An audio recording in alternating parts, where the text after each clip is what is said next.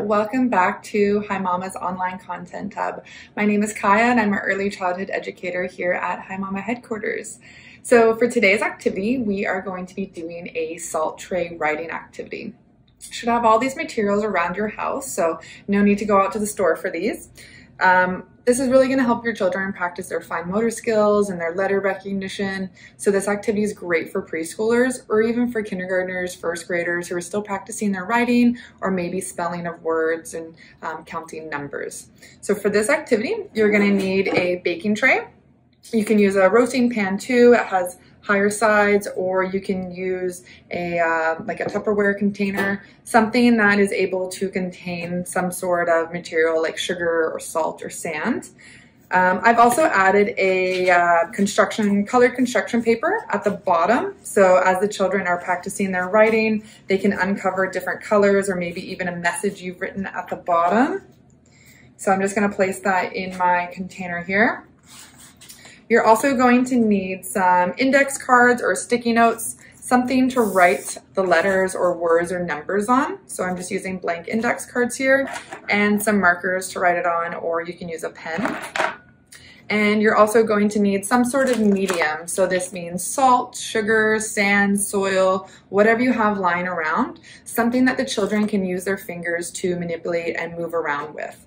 Um, it's a really cool sensory activity and um, will will keep your children busy for hours. So let's hop into it. So um, I have my tray here. I have the paper at the bottom if you want to add a little surprise element for the kiddos.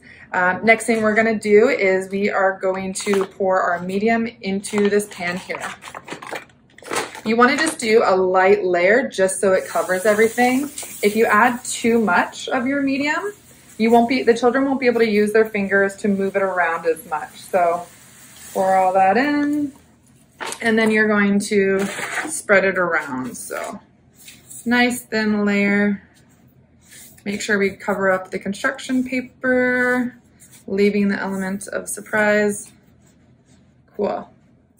Now that I have all of that in there, we are going to use our post-it notes or our cardstock, and we're gonna write the letters on them. So I've got a couple examples here. I started with really easy basic letters that children can write if your child is just starting to learn handwriting at home. Letters like L, F, and E, those ones are really simple because they just use straight lines. But if you want to challenge your child or your child's already, you know, past those easy letters or numbers, you can um, write more difficult ones like the B's with the curves, the Q's, the K's with the diagonals.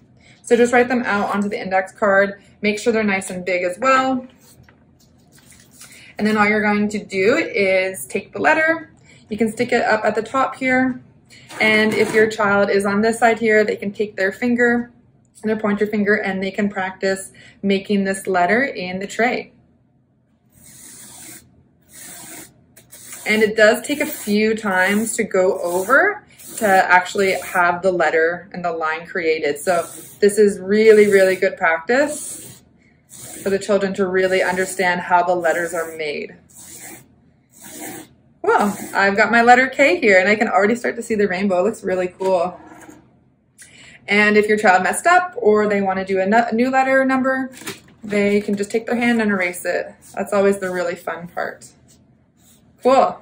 So hopefully this will keep them busy for a while. Um, you can even do this like in in a bathtub if you really want to go crazy with it and um, and have a lot of space. So Hopefully your children enjoy it as well. Let us know what you think about this activity and any content you'd like to see. Thank you everyone so much for joining us today. I hope you have a great day. Bye.